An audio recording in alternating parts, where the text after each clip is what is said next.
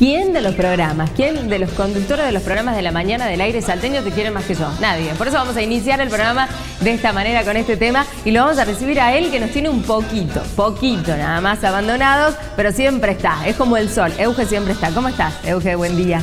¿Cómo te va, Caro? Buen día para vos y para todos los televidentes de Salta en la Mañana. Es así, hemos desaparecido, pero un poquito nomás, un, No, un estás. tiempito. Nosotros siempre lo vemos. Lo- Usted- los que lo extrañan son los televidentes. Exactamente, pero no queríamos de- dejar de, de acompañarlos a los televidentes con toda la info del espectáculo.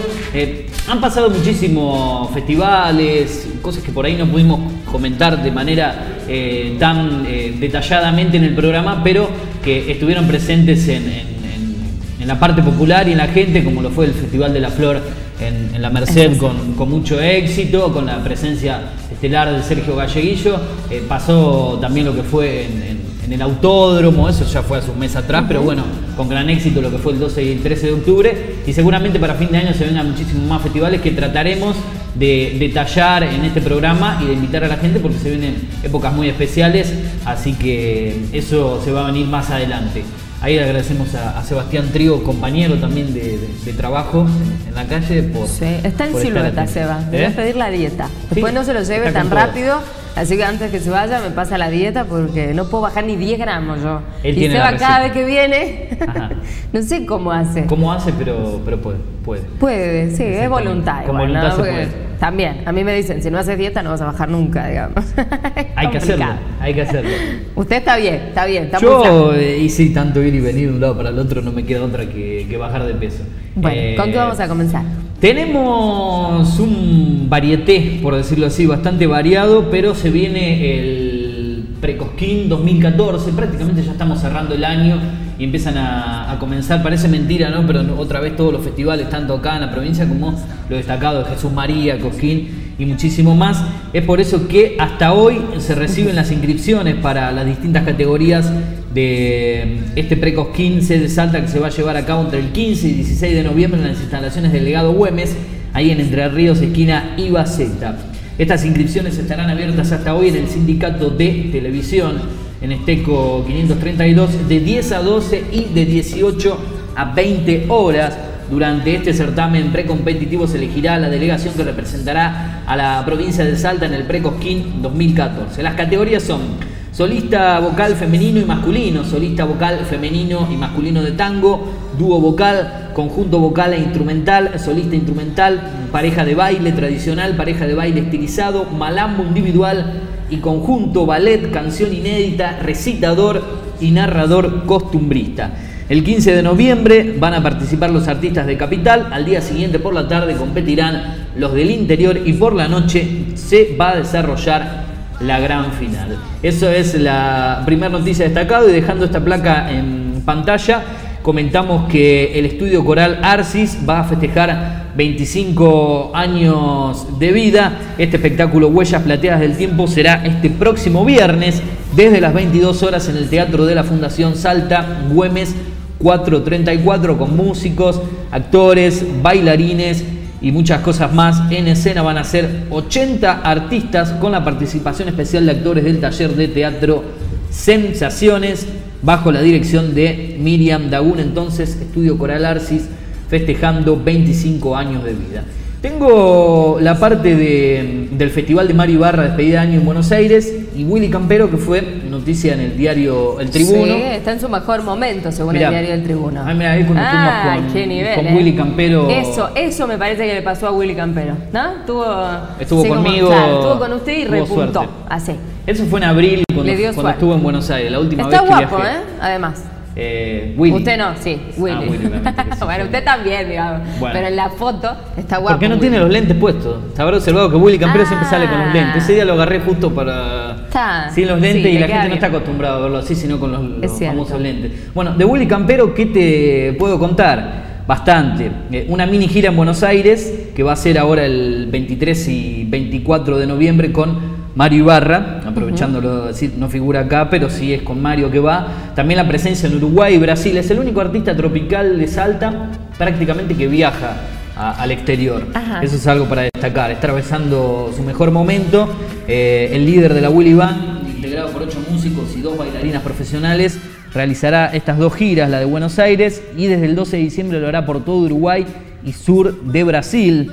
El 23 de noviembre va a estar en el Canal América en el programa Pasión de Sábado y eh, viajará perdón, con Florencia Herrera y Karen Rodríguez, que son las bailarinas. Dijo, estamos atravesando una buena etapa, los fines de semana no tenemos menos de 10 presentaciones, lo cual demuestra la excelente aceptación que tenemos con los jóvenes señaló Willy Campero. Hemos incluido el ritmo de Saya dentro de la movida tropical y tuvo una excelente respuesta de la gente. Ahora lanzamos el tema Hay Corazón, que está pegando mucho. Agregó el ex eh, cantante de Bandidos, que también tuvo un paso en Carioma y lleva 10 años prácticamente como solista.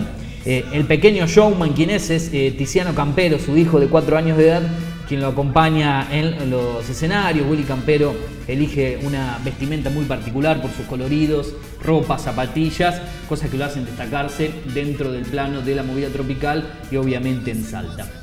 Eso es lo que te comentaba de Willy Campero.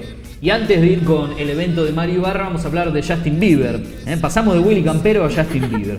Eh, bueno, un galán norteño y uno internacional. Contra uno internacional. ¿Qué pasó con Justin Bieber? Yo tengo eh, algo para comentarte y vos creo que, Caro, tenés otra información. Sí, le vamos a ir pidiendo a nuestro dire que prepare el video de, Justin, que lo tenemos ahí. Exacto. Mientras el video de la polémica. El video polémico. ¿Qué hizo Justin? Bueno, ya lo vas a ver en un rato. Yo te digo que él eh, anunció temprano, temprano, el día sábado, que se sentía mal, es por eso que debió suspender eh, el recital que estaba dando en el estadio de River Plate. Dijo que estaba intoxicado por algo que había comido. Sí, según los médicos, eh, una intoxicación alimentaria severa, ¿no? La que, la que tenía se habrá comido En ¿Qué se habrá comido antes? En alguno de esos carros de la costanera de, Buenos Aires, algún eh, claro.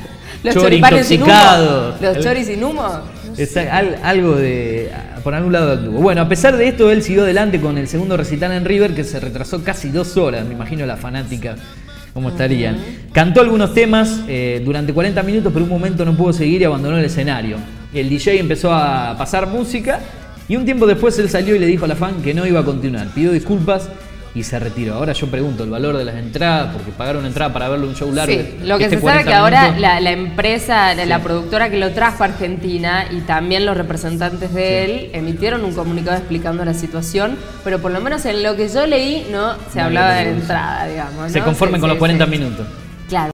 Una cosa así. Explican que bueno, que los shows anteriores que tuvo en Córdoba y uno también en Buenos Aires, estuvo todo bien, pero que bueno, la salud en este último eh, hizo que no pueda cumplir con, todo el recital y enumeran incluso todos los espectáculos anteriores a él como para decir, bueno, che, tampoco es que no tuvieron nada, chicas.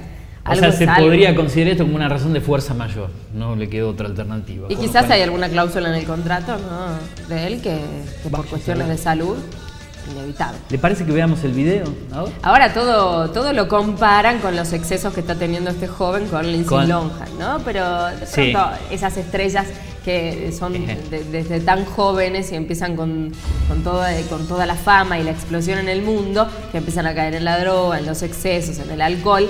Eh, hay rumores incluso en el espectáculo que el alcohol fue lo que le provocó la intoxicación que a él le llama alimentaria. ¿no? Me estaba, acordando. Más que nada de la bebida me estaba acordando de Britney Spears.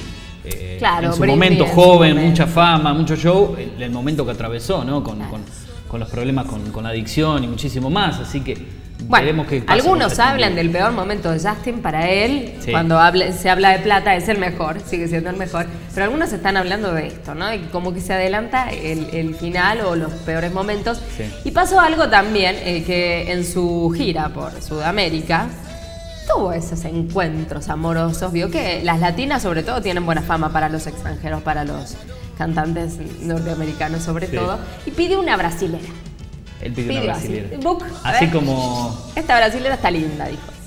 ¿Esto fue acá? En, en... Brasil. Ah, cuando estuvo en Brasil. Pensé que acá. O no sé. Como cuando Robin o no sé, porque el video se filtró a través de la web y es una prostituta brasileña. ¿A dónde la encontró Justin? No sé. A ver, Pero duerme como un angelito, miren. Miren, el video que decimos ya es furor, se viralizó por todas las redes sociales y a través de los medios de comunicación también. Ahí está, él duerme como un niño. Sí, es un niño, miren la cara que tiene. La gorrita al lado de él, ¿no? Y ella que se quiso, esa soy yo, miren, ahí está. Ese es él y ese soy yo. Acá duerme después de que yo lo atendí bien, duerme como un angelito. Lo dejó liquidado en un cabo, ¿no? Se hizo bueno. Bueno, y hablábamos con, con Euge en preproducción, cómo ahora le van a tener que pedir los famosos que se liberen de todas sus pertenencias antes de entrar a la habitación, chicas, porque Que no las dejen entrar con celular, con Claro, cámara de foto, con nada que registre nada, el momento. porque, se va a hacer pasar. moda, ¿eh? se va a hacer costumbre. ¿Sabe la fama que va a tomar esta joven por este pequeño video? Ahora todos los medios la van a andar buscando cómo fue imagino.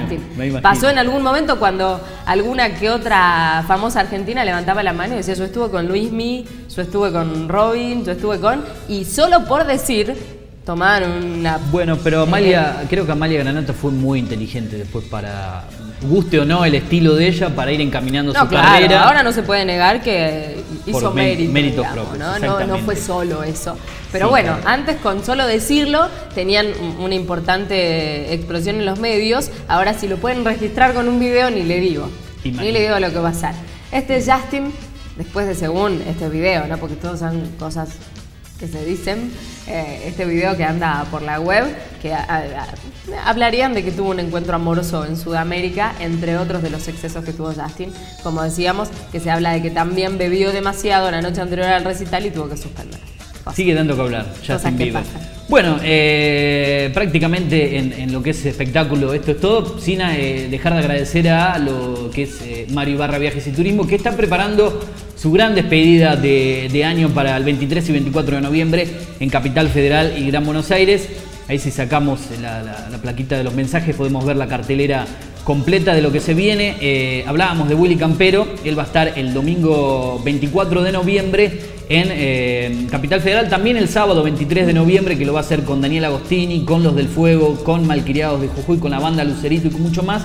Y lo que ves ahí el 24 de noviembre, acompañado también por El Resto, que es el ex vocalista de la banda 21. eh, Ahí está Pablo, uno de los ex cantantes de la banda 21, formando el resto. Eh, y los del Fuego, Willy Campero, eh, Jesús y su grupo Ventura, eh, la banda Lucerito y muchísimos artistas más ese día. Y en Rafael Castillo, en la carpa salteña, tenemos folclore con Fermín y Pancho Pereira, Los Moldeños, eh, Malcriados de Jujuy y el gran cierre con Jesús y su grupo Ventura desde Salta. Ya están en venta las anticipadas para esta gran fiesta allá en Capital Federal, en Pichincha 136 local 20 o al 011 4954 4565 o en mariobarraviajes.com.ar, Facebook Mario Ibarra Viajes. Esto prepara Mario Ibarra para despedir el año con todo, 23 y 24 de noviembre. El domingo 24 de noviembre también Gastón y la agrupación en Santa Fe. Gracias a Mario Ibarra por la confianza, obviamente. En Facebook Mario Ibarra, ahí tenés toda la información. Bueno, Caro,